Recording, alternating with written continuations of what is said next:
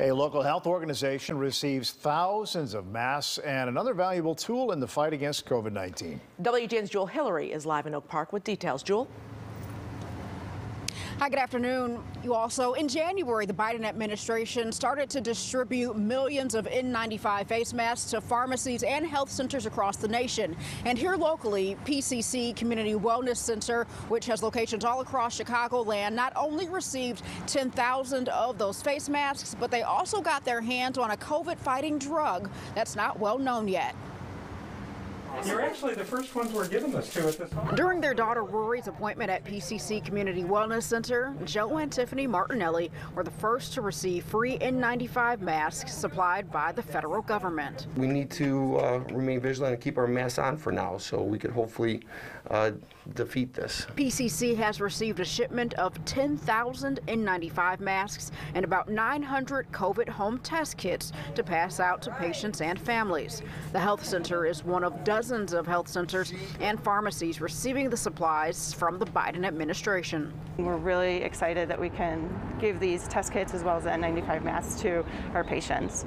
And in the future, hopefully a community event once the supply catches up. As the state prepares to lift the indoor mask requirement in many spaces and numerous schools make masks optional, Dr. Paul Luning, PCC's chief medical officer, believes it's too soon to let masks go completely. Let's look at the indicators, and when the numbers tell us that there's not as much COVID around there, then yes, then it makes sense to, to take off the masks indoors.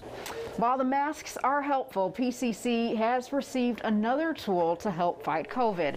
It's this drug called Paxlovid for high risk patients who are in the early stages of the COVID infection.